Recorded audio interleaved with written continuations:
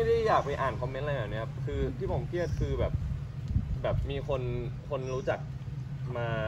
มามาแบบมีเพื่อนๆมาคุยว่าเอ้ยข่าวนี้เป็นอะไรอะไรประมาณเนี้ยคืออันนั้นอะทำให้ผมไม่ค่อยสบายใจ แต่ว่าคือผมก็ต้องเอ่อค่อยๆบอกเขาว่าเออมันเป็นเป็นมันไม่จริงอะไรประมาณเนี้ยครับแต่ว่าคือพวกคอมเมนต์อะไรพวกเนี้ยคือ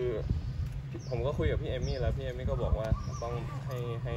ให้ทำใจยังไงอะไรแบบนี้เพราะว่าพี่เอมี่เขาก็ ในพวกคอมเมนต์เนี่ยพี่เอมมี่โดนโดนโจมตีมากกว่าผมเยอะเลยใช่ไหมครับแล้วพี่เอมมี่ก็แบบก็บอกให้ผมว่าเดี๋ยวเดี๋ยวมันก็ผ่านไปอะไรประมาณเนี้ยใน part ของพี่กานต์ครับพอคนคอมเมนต์ไปอย่างนั้นเรารู้สึกยังไงบ้างในความคิดของกานต์ก็คือเกรียนก็คือเกรียนอะนะก็คือแบบคุณยังไม่รู้จักเขาเลยว่าคุณแบบกล้าด่าได้ยังไงโดยที่ไม่เคยรู้จักไม่เคยสัมผัส ไม่เคยแม้แต่คุย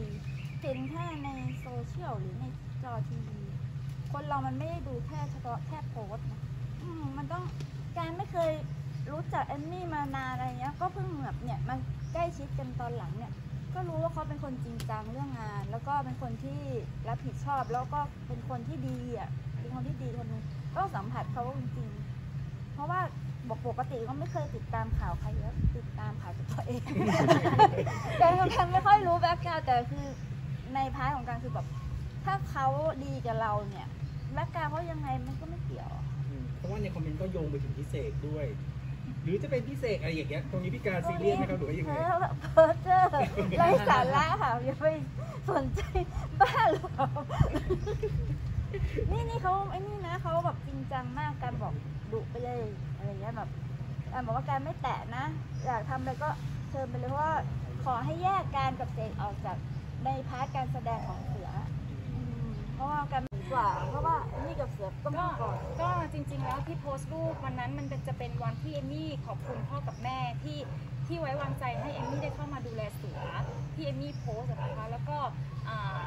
คือจริงๆอะมันก็ผิดตรงที่เอมมี่ไม่ได้พูดว่าเป็นผู้จัดการส่วนตัวแหละเอาบอกตรงๆเนาะพูดกล้าพูดตรงนี้ได้เลยว่าหนูไม่กล้าที่จะพูดว่าหนูเป็นผู้จัดการเสืออะฮะเพราะมันทำตัวยากมากด้วยความที่เขามีโปรไฟล์ที่ดีอยู่แล้ว แบ็กกราวแน่นมาก แล้วก็อีกอย่างหนึ่งด้วยความที่คุณพ่อเขาเป็นศิลปินแนวหน้าของเมืองไทย มันเลยทำให้เอมมี่ไม่กล้าที่จะพูดว่าใช่มันรู้สึกกดดันว่า แล้วเราจะไปดูแลลูกเขาได้เหรอ แล้วหนูกลัวที่สุดคือคอมเมนต์ว่ามึงดูแลตัวเองมึงให้รอดก่อนนะนี่คือสิ่งที่หนูกลัว แล้วก็แต่หนูก็พูดไปว่าหนูรู้ว่าคุณพ่อกับคุณแม่รักเสือมากเอมมี่ก็พูดโอเคเอมมี่ก็จะรักเสือเหมือนที่พ่อกับแม่รักแค่นั้นเองค่ะ แล้วก็ขอบคุณพ่อกับแม่ที่เขามั่นใจในตัวเอมมี่ ต้องขอบคุณพี่การด้วยจริง ๆ คือตีสองครึ่งอะตีสองครึ่งไลน์มาไลน์มาหนูก็ตกใจ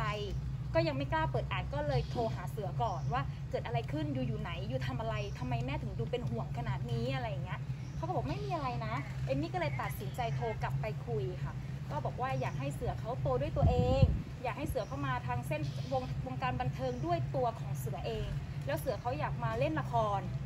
หือหนูก็บอกหนูก็เลยขำหนูก็บอกพี่การอำหนูใช่ไหมอะไรอย่างเงี้ยอะก็คือเพราะหนูมีความรู้สึกว่าหนูสามารถหาผู้จัดการที่ดีกว่าหนูได้ไม่เอาพี่การบอกไม่ไม่เอาเอาไม่เอาการไม่เอาเอาการจะเอาเอมมี่อะไรอย่างเงี้ยค่ะก็ให้แม่พูดดีกว่านะว่าทำไมถึงอยากได้เอมมี่มันไม่ใช่แบบว่าอะไรนะอยู่ดีวันนั้น คือไม่ได้นึกถึงใครไม่เคยทักไปหาใครอะไรอยู่ดีวันนั้นคืนนั้นน่ะดึกๆอะเนอะค่ะก็ทักไปเอมมี่ช่ วยเสือด้วยหนูอยู่ตกดีใจกันก็มาเหรอกเอมมี่ช่วยเสือด้วย แล้วเอมมี่